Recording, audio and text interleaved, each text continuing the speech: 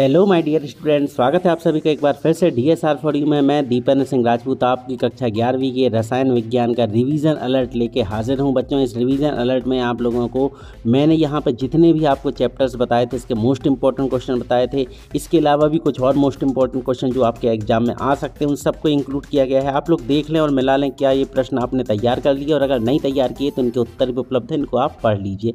देखें, सबसे पहला प्रश्न है, मानक हाइड्रोजन इलेक्ट्रोड क्या है? इसको पूरा आपको इस तरीके से लिख देना है और इसका डायग्राम बना देना है। आशा करते हैं आपने तैयार कर लिया होगा। इस वीडियो में मैं कुछ समझाऊँगा नहीं, केवल आप लोगों को प्रश्न देखना है। ये देख लीजिए निर्नष्ट समीकरण।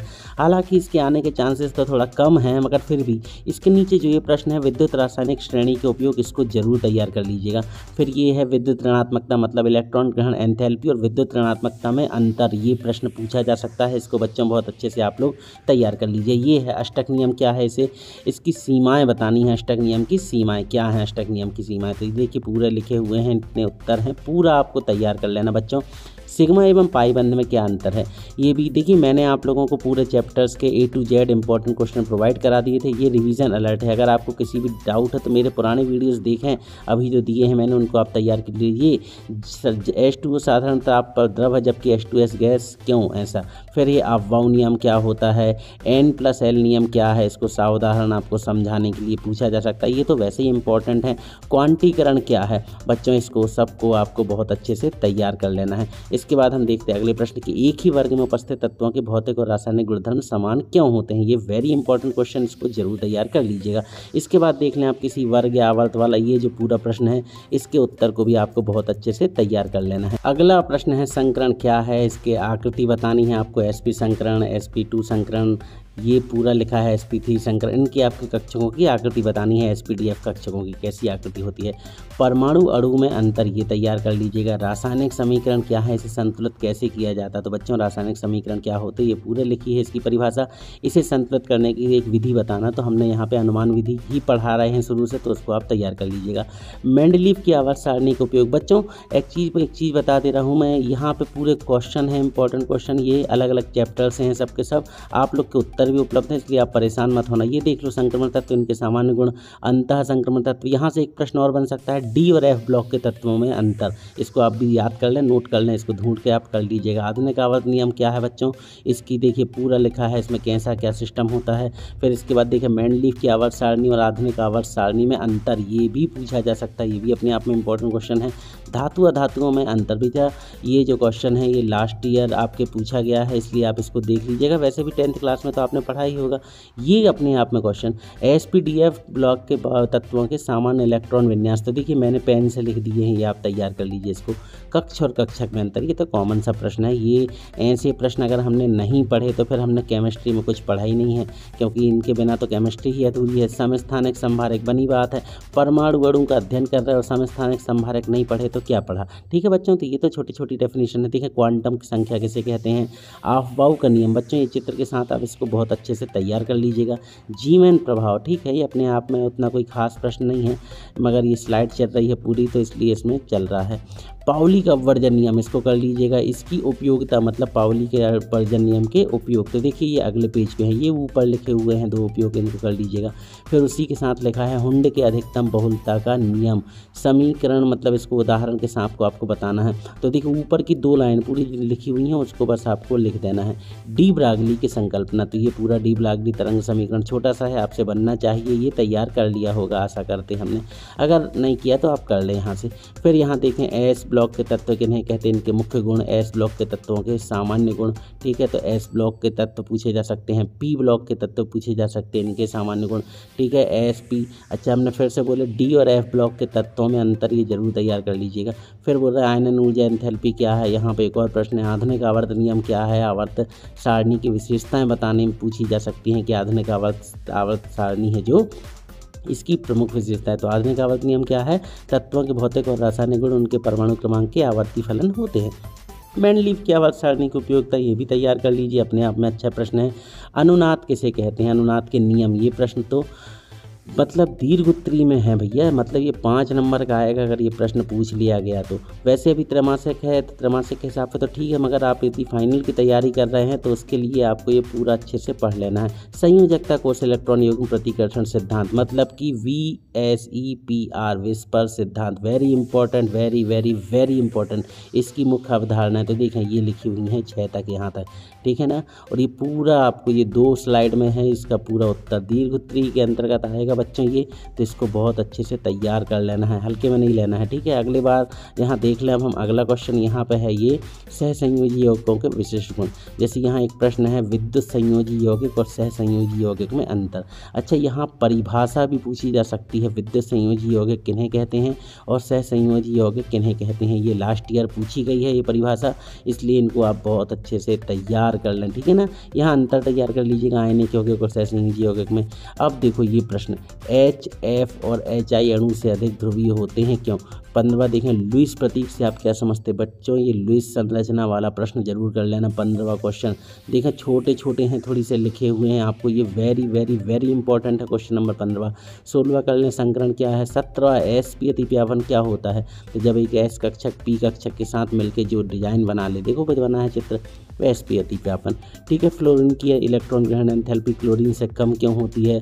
फिर विद्युत ऋणात्मकता और इलेक्ट्रॉन बंधुता में अंतर ये भी तैयार कर लेना वेरी इंपॉर्टेंट क्वेश्चन देखो, यहाँ पे मैं रिवीजन करा रहा हूँ। रिवीजन का अर्थ होता है तो यहाँ रिवीजन में हुआ ये है कि बिल्कुल सॉलिड सिलेक्टेड क्वेश्चन मिले हैं आपको। इनको आपको देख लेना। हाँ एक बात और कहना चाहूँगा बच्चों, ये पूरे प्रश्न आप तैयार कर लीजिएगा, मेरी बात सुनते चलें। एक बात और कहना चाहता हूँ, देखिए, मेरे हिसाब से जो इम्पोर्टेंट है, मैंने यहाँ दे दी है, मगर आप अपनी भी तैयारी रखें बच्चों। मैं बहुत मेहनत से ढूंढ ढाड़ के आपके लिए ये इंपॉर्टेंट क्वेश्चन लाता हूँ। मैं दूसरों की तरफ़ फर्जी पेपर नहीं प्रिंट करा के आपके लिए प्रस्तुत कर देता और व्यू लेते रहता हूँ। मेहनत करता हूँ, काम करता हूँ, तभी जाके मुझे कुछ मिलता है बच्चों तो इसलिए अपनी तैयारी भी रखें। मैं तो अपना काम कर रहा हूँ, मगर आप लोग भी अपनी प्रति तैयार रखें। और वीडियो अच्छा लगे तो वीडियो को लाइक करके चैनल को सब्सक्राइब करें और प्लीज़ कमेंट में अपनी बातें ज़रूर लिख दिया कीजिए। कम से कम एक थैंक यू तो कर दिया कीजिए, आपके लिए इतनी मेहनत करता हूँ। और एक चीज़ और कहना चाहता हूँ कि आपके जो नौवीं, दसवीं वाले हैं प्लीज़ उनसे भी हमारे चैनल के बारे में बतला दें। इस समय थोड़ा सा नौवीं, दसवीं वाले बच्चे मुझे, मेरे पास आ नहीं पा रहे हैं दूर हैं उनसे। ये देखिए क्वांटम संख्या क्या होती है? मुख्य क्वांटम संख्या द्विगंशी चुंबकीय चक्रण क्वांटम संख्या, चार प्रकार की। चारों को आप उदाहरण सहित कर लेना। और इसमें जितना मैंने निशान लगाया है, उतना ही लिखना है इनके बारे में। ठीक है? बाकायदा ये नोट्स बने हुए हैं, इसमें लगभग बहुत सारे प्रश्नों के तो। अब देखिए ये जैसे कैथोड किरणों के प्रमुख गुण क्या होते हैं एनोड किरणों के प्रमुख गुण क्या होते हैं, नीचे प्रोटॉन और न्यूट्रॉन में अंतर। तो बच्चों प्लीज़ नौवीं, दसवीं वालों को आप बता दें। और एग्ज़ाम के बाद वैसे भी एलेवंथ क्लास आप लोगों के लिए मैं फिजिक्स केमिस्ट्री की क्लासेस यूट्यूब पर कोशिश करूँगा कि आप लोगों को दे दूँ।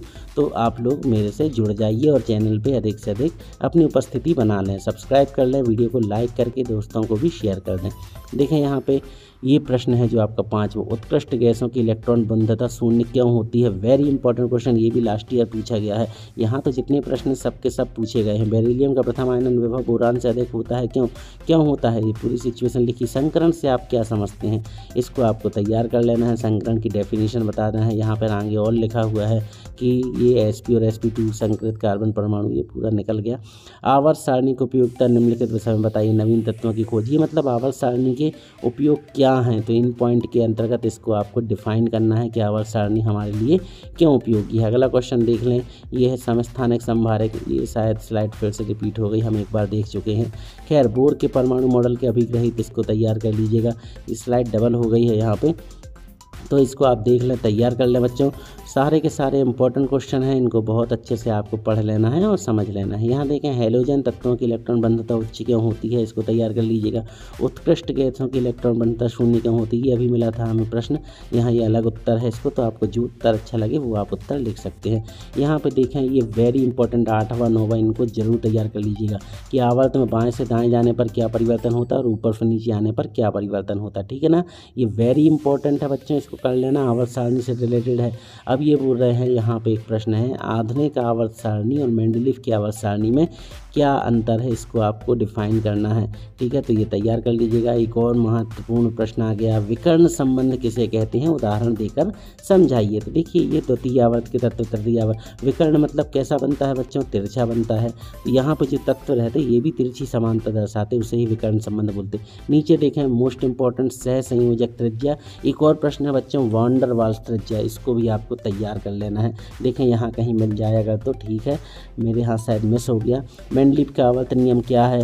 फिर आधुनिक आवर्त नियम क्या है? ये तैयार कर लीजिएगा। डोवे राइनर का त्रिक नियम वेरी इंपॉर्टेंट न्यूलैंड का स्टक नियम पाओली का वर्जन नियम हुंड का अधिकतम बहुलता का नियम अबाउ सिद्धांत एन प्लस एल नियम। ये भैया अपने आप में very very very important question है। ये मतलब जैसे समस्थान एक संभार, एक डी एफ़ ब्लॉक के तत्वों में अंतर पी ब्लॉक के तत्वों के गुण एस ब्लॉक के तत्वों के गुण, क्षार धातुएँ क्षारी मृदा धातुएँ कुछ प्रश्न बेटा जिनको जैसे प्रकाश की द्वितीय प्रकृति हो गई है ना, हाइगन हाइजनबर्ग का निश्चित का सिद्धांत, मैक्स प्लांक का क्वांटम सिद्धांत, ये अपने आप में बच्चों महत्वपूर्ण प्रश्न है, इनको आप लोगों को बहुत अच्छे से देख लेना है। और हमारे चैनल को अगर सब्सक्राइब नहीं किया है तो उसे भी सब्सक्राइब कर लेना है। फोटोन किसे कहते हैं, ये बोल रहे हैं समर फ़ील्ड की परमाणु मॉडल की प्रमुख विशेषताएँ बतलाइए तो आप इसको देख लीजिएगा।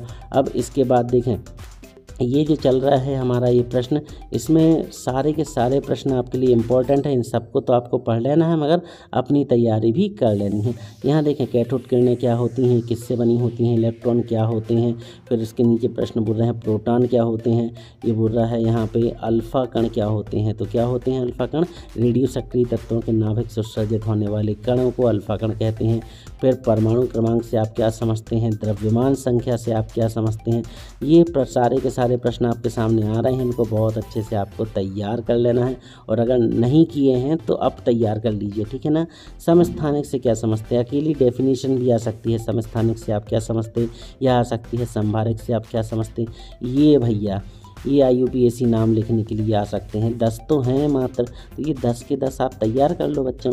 नॉर्मली इन्हीं दस प्रश्नों में से पूछा जाता है आई यू पी एसी नाम के बारे में तो आप इनको देख लें, तैयार कर लें। जैसे कि फॉर्मेकम आठवें नंबर पर है, एसीटोन है, छठवें नंबर पर एथिल एल्कोहल है, इनको आपको बहुत अच्छे से तैयार कर लो और सीख लो। फिर इसके बाद संभारक क्या है, देखिए वो डेफिनेशन आ गई नाभिक से आप क्या समझते हैं? रदरफोर्ड का परमाणु मॉडल बता दो, क्या होता है रदर फोर्ड के परमाणु मॉडल में कौन कौन सी कमी रह गई थी मतलब उसके दोष? ये भी आपको देख लेना है, इसको बता देना है। यहाँ पर बीसवा क्वेश्चन देखें, इसको आप देख लीजिए एनसीईआरटी में दिया है इंपॉर्टेंट है।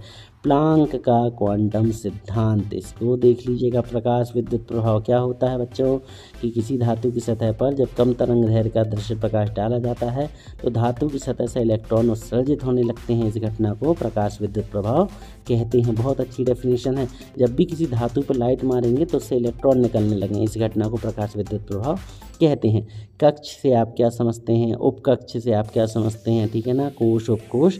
इसकी डेफिनेशन भी आपको देख लेनी है। सारे प्रश्न तो इंपॉर्टेंट हैं, इनको आपको बहुत अच्छे से देखना ये गोलू सेठ का नियम, हमारे गेलू शेख भाई, इनका आप नियम तैयार कर लीजिएगा। आओ गिरा दो, आओ गिरा दो। ठीक है? तो आवग्रादो का नियम कर लीजिएगा, ठीक है? आवग्रादो का नियम बहुत इंपॉर्टेंट है, ये भी पूछ लिया जाता है। यहाँ पे देखो डाल्टन के परमाणु सिद्धांत की अवधारणा है। डाल्टन साहब रहे इन्होंने, परमाणु सिद्धांत प्रस्तुत किए थे तो इसकी क्या अवधारणाएँ थी? यहाँ पर देखिए, मूल की ऐसा इकाई कैसे चिन्हित करते हैं? मूल को कैसे परिभाषित किया जाता है? कैसे परिभाषित किया जाता है? मूल को एम ओ एल से परिभाषित करते ठीक है? रासायनिक समीकरण से क्या लाभ है भैया? क्या लाभ है? क्रियाकारकों, उत्पादों की जानकारी मिल जाती है। अणु संख्या ज्ञात हो जाती है, समतुल्य द्रव्यमान ज्ञात हो जाते हैं, और क्या चाहिए? अब सब तो मिल गया। द्रव्य संरक्षण का नियम बतलाइए। द्रव्य संरक्षण का नियम तैयार कर लो। स्थिर अनुपात का नियम तैयार कर लो गुणित अनुपात का नियम तैयार कर लो। स्थिर अनुपात द्रव्य संरक्षण गुणित अनुपात गेलू से आवगिरा दो। ये पाँच छः रिश्तेदार हैं अगल बगल इन सबको बहुत अच्छे से आप लोगों को देख लेना है। सारे के सारे अपने आप में मोस्ट इंपॉर्टेंट क्वेश्चन है। इसके बाद बारी आती है एस वन एन और एस टू एन अभिक्रियाओं में अंतर। तो भैया, ये कर लीजिएगा। हमने कल उस दिन भी आपको बताए थे इंपॉर्टेंट दिए थे। ये आपके चैप्टर ट्वेल्व से है। एस वन एन अभिक्रिया जो होती है ना, जिसमें वन लिखा है, वो दो पदों में होती है। और जिसमें टू लिखा है बेटा, वो एक पद में होती है ना? फिर संक्रमण अवस्था नहीं होती, इसमें संक्रमण अवस्था होती। देखें पूरा है। आपको मेरा काम है ये कि आप इनको तैयार कर लें। अगर कर चुके तो अच्छी बात, नहीं किए तो आप कर लीजिए। अब देखिए, यहाँ पर क्वेश्चन बैंक से भी कुछ प्रश्न है। सीमांत अभिकारक किसे कहते हैं? हवा को समांगी मिश्रण क्यों नहीं मानते? क्यों नहीं मानते हवा को समांगी मिश्रण? समांगी मिश्रण क्या होता? जिसमें समान अंग से सब चीज़ें मिली हुई हों। मतलब पाँच ग्राम ये, पाँच ग्राम वो। हवा में ऐसा होता? नहीं भैया, अलग अलग चीज़ें मिल जाती हैं, पता नहीं कहाँ धुआँ मिल जाए, कहाँ पर कैसी गंदगी, धूल, मिट्टी सब मिली रहती इसलिए वो समांगी मिश्रण नहीं कहलाता। यौगिक के मूलानुपाती सूत्र को परिभाषित कीजिए। यहाँ देखें, नौवा प्रश्न दिख रहा है, मूल संकल्पना क्या है? चौथा, देखें, विलियन की मूलरता पर ताप का क्या प्रभाव पड़ता है? मूलरता, मूललता, नॉर्मलता, ये छोटी मोटी परिभाषाएँ मिल जाएँ तो इनको भी आप लोगों को देख लेना है, ठीक है ना? यहाँ पे देखिए आवोग्रादो संख्या, स्टॉक विलियन वेरी इंपॉर्टेंट क्वेश्चन स्टॉक विलियन क्या होता है, इसको भी तैयार कर लीजिएगा। ठीक है? फिर यहाँ पे 50 एम और पचास दशमलव ज़ीरो एम में क्या अंतर है? इसमें बोल रहा है शिक्षक की सहायता से छात्र स्वयं हल करें। पचास एम और पचास दशमलव ज़ीरो एम में कुछ नहीं है। सार्थक अंकों की गणना करना पड़ जाएगी इसमें, ठीक है ना? यहाँ ग्यारहवा देख लें आप अणुसूत्र मूलानुपाती सूत्र में क्या संबंध होता है? इसको आपको देख लेना है, कैसे तैयार करना है। ठीक है अच्छा क्वेश्चन है, ये कई जगह पूछा गया है। हर गाइड में अवेलेबल हो जाएगा। ये प्रभावी नाभिकीय आवेश और नाभिकीय आवेश में अंतर तो देखिए प्रभावी नाभिकीय आवेश परमाणु के बाहरी कोष के इलेक्ट्रॉन पर नाभिक के द्वारा लगने वाला आकर्षण बल होता है। और इसके बाद देखें अपन नीचे परिरक्षण प्रभाव क्या होता है। तो स्क्रीनिंग प्रभाव एक्सप्लेनेशन क्या है कि स्क्रीनिंग प्रभाव को ही परिरक्षण प्रभाव के रूप में जाना जाता है। ये पूरा लिखा है, इसकी डेफिनेशन आप बहुत अच्छे से इसको तैयार कर लें और अपने एग्ज़ाम के लिए रेडी हो जाएँ। इसके बाद देखें प्रेरणिक प्रभाव और इलेक्ट्रोमेरिक प्रभाव। ये भी अपने आप में मज़ेदार, शानदार, लाजवाब प्रश्न है। बच्चों, चैनल को नए हैं तो आप प्लीज़ वीडियो को शेयर कर दें और अपने दोस्तों को भी बता दें कि हमारे वीडियो, हमारे जो चैनल हैं, हमारे चैनल में आप लोगों को फर्जी पेपर नहीं दिए जाते इंपॉर्टेंट क्वेश्चन प्रोवाइड कराए जाते और ये क्वेश्चन बेटा आपकी क्वार्टरली, हाफ़ ईयरली और फाइनल एग्ज़ाम सब के लिए वेरी वेरी वेरी इंपॉर्टेंट हैं। तो हमारा चैनल ऐसा नहीं है कि खाए, पिए और चलते बने।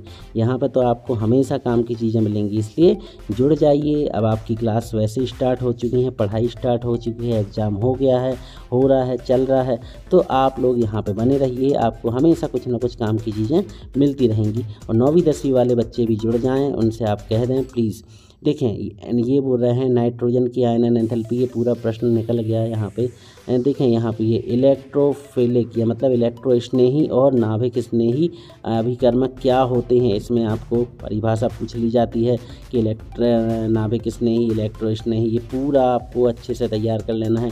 अनुनाद पर टिप्पणी, अनुनाद क्या होता है? तो इसका अभी उत्तर आपने पिछली स्लाइड में देख चुके हैं। आप लोग अभी आगे मिला था ये अन्नाद वाला क्वेश्चन हमें वहाँ पे पूरा इसको डिस्क्राइब किया था। अब यहाँ देखें, यहाँ पे ये तीन प्रश्न हैं। क्रिस्टलन, आसवन और क्रोमेटोग्राफी। इनमें भी आपसे पूछा जा सकता है इसके बारे में कि ये क्रोमेटोग्राफी क्या है, क्रिस्टलन क्या होता है, आसवन क्या होता है है ना? तो इनको आपको बच्चों बहुत अच्छे से सीख लेना है। ये है क्रोमेटोग्राफी। पूरा पूरा आपके सामने है। इसको आप सीख लें। बच्चे, एक बात और कहना चाहता हूँ। मैं ये प्रश्न इंपॉर्टेंट हैं और मैंने अपने हिसाब से दिए हैं। फिजिक्स के पेपर में भी आपने देखे। बहुत बच्चों के कमेंट आए कि आपका पेपर अच्छा गया। बहुत प्रश्न फंसे।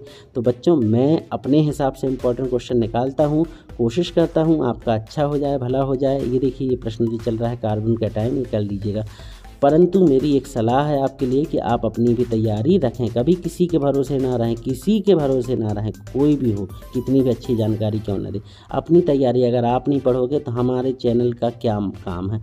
हम आपको कितना भी अच्छा मटेरियल दे दें, जब आप पढ़ेंगे ही नहीं तो आपका नुकसान हो जाएगा, है ना? तो आप लोग प्लीज़ अपनी तैयारी भी रखें। तो बच्चों, ये जो रहा हमारे मोस्ट इंपॉर्टेंट क्वेश्चन का, आपका जो वीडियो था, इसमें हमने पूरे प्रश्न आपको यहाँ पर उपलब्ध करा दिए। इनको आप देख लीजिएगा, ये लास्ट प्रश्न चल रहा है आस आसवन निम्न दाब पर आसवन भापासवन क्या है? और लैक्स अग्नि परीक्षण का रसायन सिद्धांत समझाइए। ये क्वेश्चन देख लीजिएगा लैस अग्नि परीक्षण का रसायन सिद्धांत, क्योंकि ये जो है उतना कोई ख़ास इम्पोर्टेंट नहीं है, क्योंकि ये पहले पूछा जाता था, विगत कुछ वर्षों से पूछा नहीं गया है दो तीन वर्षों से। मगर अभी लास्ट टाइम एक जगह कहीं पर मुझे, मैंने पढ़ा था, इसलिए मैंने इसको भी ऐड कर दिया है, क्योंकि हो सकता है इस साल फिर से स्टार्ट कर दें वो। इम्पोर्टेंट क्वेश्चन है, इसलिए देख लीजिएगा। इस टाइप का एक क्वेश्चन आ सकता है। वैसे ही आपकी ऑक्सीकरण संख्या निकालने वाले प्रश्न भी आ सकते हैं तो आप बच्चों, कुछ प्रश्न यहाँ मैंने छोड़े हैं ऑक्सीकरण संख्या डी और एफ़ ब्लॉक में तत्वों में अंतर और हाइजन वर्ग का निश्चित सिद्धांत, इनको आप देख लीजिएगा बच्चों, आप सभी लोगों को आपके एग्ज़ाम के लिए बेस्ट ऑफ़ लक। बने रहिएगा हमारे साथ। मिलते हैं बहुत जल्द अपने किसी और मज़ेदार अगले वीडियो में। तब तक के लिए अब मुझे इजाज़त दीजिए। पढ़ते रहिए, बढ़ते रहिए।